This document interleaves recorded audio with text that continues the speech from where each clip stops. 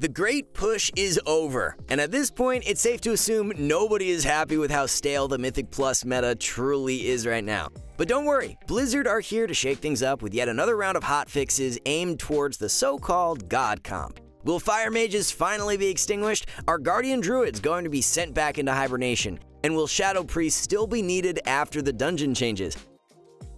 We've got all this and much more to cover as we bring you an up-to-date look at the 10.1.5 Mythic Plus tier list, thanks to the help of our esteemed Echo and Method consultants and analyzing the most recent data. To begin, let's dive straight in with the tank updates. Guardian Druids have been at the top of the food chain since the reworks to their talent tree coming with 10.1.5, where the spec was made a lot more diverse, improving on their AoE and single target damage, as well as their survivability.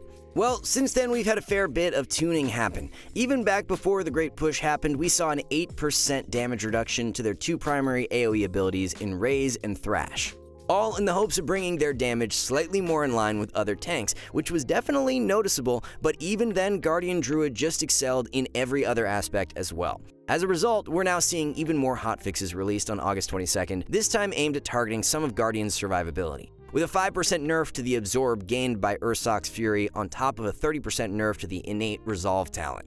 It seems like Blizzard's approach with balancing the season is to opt for more consistent minor adjustments rather than just completely obliterating a spec. And that's what we're seeing here, as the change to Ursoc's Fury will essentially be a non-factor. The change to Innate Resolve, on the other hand, is slightly more impactful, hurting Guardian Druid's self-sustain a decent chunk. But realistically, the end result of these nerfs is that Guardian Druid will simply need slightly more targeted healing inside of keys than they did previously. Will they still be the go-to tank? Yes. Are they now slightly more in line? That's still debatable, but for now, we'll be keeping them well and truly inside of our S tier. One tank on the rise over the past few weeks has been Protection Warrior, who first received a boost to their AoE damage with buffs to both major cooldowns Ravager and Thunderous Roar, which equated to a very minor damage increase that definitely helps towards making them a more meta option. August 22nd had even more buffs, starting with a 5% buff to the damage you deal while in defensive stance, a 5% buff to the damage reduction from spell reflection, as well as a buff to Vanguard, increasing stamina by 35% rather than 30. Overall, these are again steps in the right direction and good changes for one of the lesser represented tanks out there, giving Protection Warrior slightly more overall survivability, as well as some additional help against magic damage. But the highlight here is definitely the change to defensive stance. To clarify for those of you who may be confused with this change, defensive stance when swapped to would previously reduce damage taken by 20%, with the drawback of reducing your damage dealt by 10%. Now this reduction on your damage dealt is instead only 5%. Previously, Protection Warriors would only ever switch to defensive stance when it was absolutely required. Now though, swapping into defensive stance or even just sitting inside of it will be far less punishing, as the trade-off is negligible. For this reason, we'll be bumping up Protection Warrior up one tier, moving from B to A. Taking a look at our consolidated tank tier list, Guardian Druid will of course still be remaining in our top spot for yet another week. Vengeance Demon Hunter continues to be slightly ahead of the rest of the pack, taking that A plus spot, providing a decent alternative to Guardian Druid. Protection Paladin remains to be a great carry option and viable pickup for lower rated players thanks to their abundance of interrupts and utility, but with Holy Paladin still being the go-to healer, having ended up losing a lot of their value. In our bottom tier, Blood Death Knights and Brewmaster Monks are still slightly behind the rest of the tanks, but while they might not be all that highly represented in the absolute peak of key levels, both still provide viable tanking alternatives. Next up, we're taking a trip to the graveyard of Mythic Plus, also known as Melee Specs. Since our last update, Retribution Paladin has seen the most impactful buffs, receiving damage increases to Divine Storm, Wake of Ashes, and Consecration, which as a result increased AoE damage by around 3 to 4%, while single target increased by a very minor figure of around 1%. Now obviously, these changes were not enough to propel Ret to the forefront of the meta, but that's just going to be the case for a lot of specs when the God comp is so dominant. But nudges in the right direction, like we see here, coupled with consistent nerfs to the overperforming specs, has the potential of making specs like Ret a lot more viable, especially if we see Holy Paladin fall out of the limelight. For now though, despite these changes, we'll be keeping Retribution inside of our A plus tier. Also getting some love since our last update was Fury Warrior, who received buffs to both Ravager and Thunderous Roar, as well as a nice percent increase to Improved Whirlwind. By improving AoE damage, Blizzard are once again making steps in the right direction to make the spec slightly more viable inside of Mythic Plus. But much like Retribution Paladin, or, well, all melee for that matter, is with the current strength of the meta specs, there just isn't a spot for Fury Warrior at the peak of keys, despite offering some very competitive damage. So for now, we'll be keeping them inside of our A plus tier. Another melee spec that we saw get some much needed tuning was Unholy Death Knight. Unholy has been almost non-existent in the Mythic Plus scene for a long while, and an 8% damage increase to Epidemic and 12% damage increase to Bursting Sores has undoubtedly made their AoE a lot more effective. There's just one issue, this won't make them viable. The spec itself just, quite honestly, needs a talent tree redesign. If you spec for AoE, you do no single target. If you spec for single target, you do no AoE.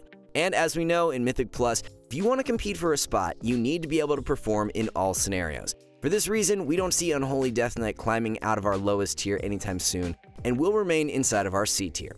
Speaking of our lowest tier, following the theme of underrepresented specs getting some love, Blizzard remembered that Assassination actually exists as a spec, providing Assassination players this past reset with a blanket 5% increase to all damage, as well as a 5% increase to auto attack damage on top. Now, let's be real, you don't need me to tell you that this won't change anything. Assassination out of the three rogue specs just isn't made for Mythic Plus and will continue to be the weakest out of the three.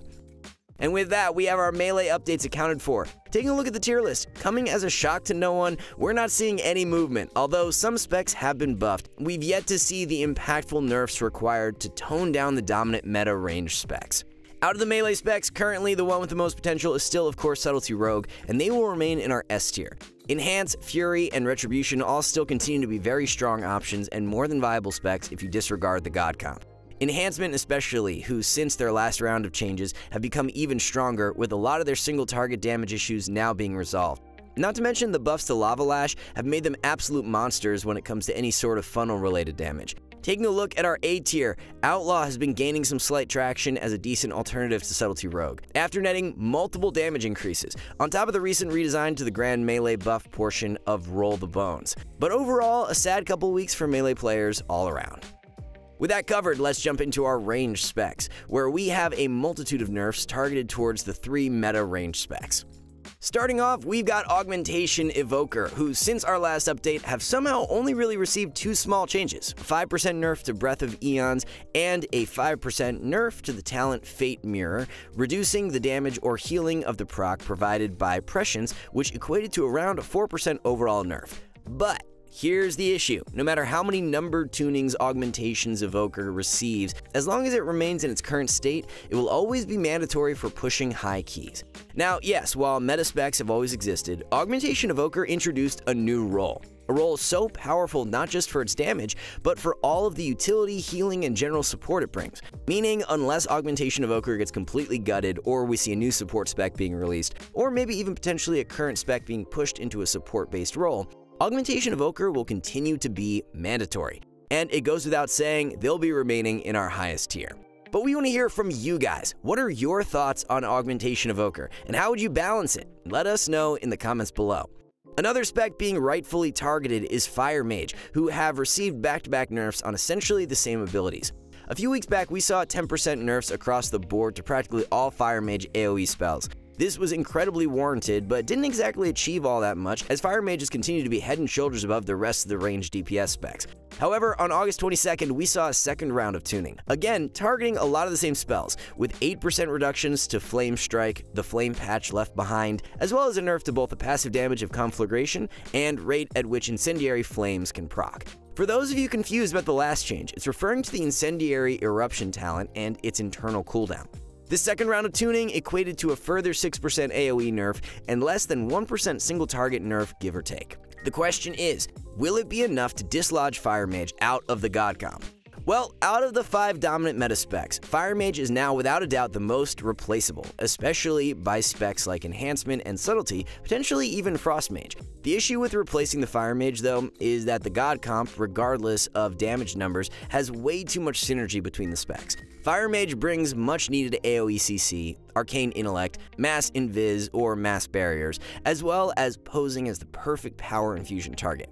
That then also happens to pair up with augmentation damage increases perfectly, not to mention Blessing of Summer. So while we may potentially end up with top players exploring alternatives to Fire Mage, it will more than likely continue to be heavily represented at the top until we see further tuning. So for this reason, we'll be keeping it inside of our S tier. Up next, to complete the trio of overperforming range specs, we've got Shadow Priest, who since our last update received even more damage tuning. This time aimed towards Vampiric Touch, Shadow Word Pain, and Shadowy Apparitions, which ended up equating to somewhere around 3% on single target and 8% on AoE. The issue with Shadow Priest, though, is that much like Augmentation Evoker, it's become practically mandatory across most dungeons, in large part due to the importance of Mass Dispel and Mind Soothe. Surprisingly enough, Blizzard have recognized this, and with the 22nd of August hotfixes, rather than any further damage nerfs, which would just end up obliterating the spec in Raid as well as Mythic Plus, instead what we're seeing happen is that certain mechanics are being toned down in the attempt to reduce the importance of Mass Dispel. Now, don't get us wrong, this is a great solution and a big stride in the right direction, but the execution isn't exactly perfect as there still continues to be plenty of bosses, trash, or even affixes where playing without a Shadow Priest just still isn't possible at the highest of key levels. For instance, Chrono Lord Deos, Emberon, or even Watcher Irideus. So, for now, Shadow Priest and the God Comp as a whole will all still be remaining inside of our S tier. Taking a look at our consolidated range tier list, the top remains exactly the same after yet another round of tuning. Frost Mage maintains a slight lead over the other options and might emerge as a significantly more competitive alternative to Fire Mage if players are open to exploring different avenues. As for A tier, we've still got Balanced Druid and Devastation Evoker. Oh, and yes, Devastation Evoker, to everybody's surprise, is still actually a spec that exists in WoW, despite what you may see. Standalone, they're very competitive damage-wise, but granted, with Augmentation Evoker existing, there's sadly not much chance of ever seeing them represented at the highest of key levels right now. So although they're in A tier, realistically, it's going to feel a lot lower. Two specs moving up this update are Destruction Warlock and Beast Mastery Hunter. We feel both specs, despite receiving no recent buffs, have just been performing far better than our initial placement may have suggested. Finally, to bring this update to a close, we've got healers. Holy Paladins have of course been the healer getting most attention over the past few weeks, and rightfully so. In the first round of tuning, we saw a combination of healing and survivability nerfs, coming from a flat 5% healing reduction across the board, nerfs to the damage reduction provided by Glimmer thanks to the talent Light's Protection, a reduction to the absorbed shield from overflowing light, nerfs to the buff portion of Tyr's Deliverance to reduce the bonus healing to Holy Light, Flash of Light, and Holy Shock, as well as 7% less absorbs provided by Fading Light. On top of that, Consecration now has a 20% less chance of proccing from Righteous Judgment, as well as also dealing 25% reduced damage overall. As it's been a couple of weeks since these changes went live, you don't need us to tell you that they didn't accomplish much. But on August 22nd, we saw a second round of nerfs, this time purely aimed at damage, with a 10% decrease to all damage abilities, along with another nerf to Blessing of Summer. So, what impact is this going to have? Well, even before these changes, Paladin was by no means the highest DPS healer, but when compared to the other healers, the bulk of Holy Paladin's damage all comes passively via their standard healing pattern. Unlike healers like Restoration Shaman or Preservation Evoker, who have to sacrifice healing for damage and vice versa. Not to mention, the bulk of what makes Paladin so strong is its high throughput and strong cooldowns, coupled with its utility, as having both an interrupt and single target stun coming from your healer is a crucial part of what makes the meta comp so strong strong right now. So despite these nerfs seeming fairly drastic, we'll be keeping Holy Paladin inside of our S tier for now. The other healer getting a few changes this round of hotfixes is Mistweaver Monk. This time though, it's buffs, including a 15% healing increase to Ancient Teachings, which is the talent that makes fist weaving possible. A buff to Yu'lon's Grace to help with some survivability issues, and some minor changes to the Celestial Harmony talent, shifting some of the healing away from the breath to instead be on the Chi cocoons when activating your Chi Ji or Yu'lon, which, despite a hefty 100% increase, still results in a very negligible change. Meaning overall, Mistweaver is looking stronger, boasting much higher consistent throughput coupled with slightly more personal survivability. The main issue with Mistweaver, though, is quite frankly the perception of them rather than their relative strength. As a result of these hotfixes, we'll be moving Mistweaver monks up one tier from C to B, leaving our compiled 10.1.5 healer tier list looking like what you see on screen now. Preservation Evokers continue to be one of the best alternatives to Holy Paladin from a pure healing standpoint, but the fact that you're essentially forced into running double Evoker causes them to lose considerable value, resulting in them being far less represented than they otherwise should be, which can be said for a lot of specs. The rest of the healer tier list remains fairly balanced. Disciplined Priest, since their atonement buffs have been performing slightly better, but still not enough to warrant them moving up any higher on the tier list just yet. Holy Priest, on the other hand, still ends up being on the weaker end of the healers as it stands, despite receiving some buffs to the damage of Holy Nova through the Rhapsody talent, which, along with Empyreal Blaze now being far more accessible, has left them a lot more competitive on the damage front. But again, we don't expect the healer meta to change all that much until we see further tuning put in place. Before we wrap things up, we want to hear from you. We're currently working alongside some of the best players in the world to develop high quality guides for Mythic Plus. With that in mind, what topics would you like us to cover next? Do you have any specific pain points you'd like help with? Let us know in the comments below. And if you like this video and want to see more, be sure to hit that subscribe button to be notified the second we release any new content. As always though, we want to thank you all for watching, and we'll see you soon.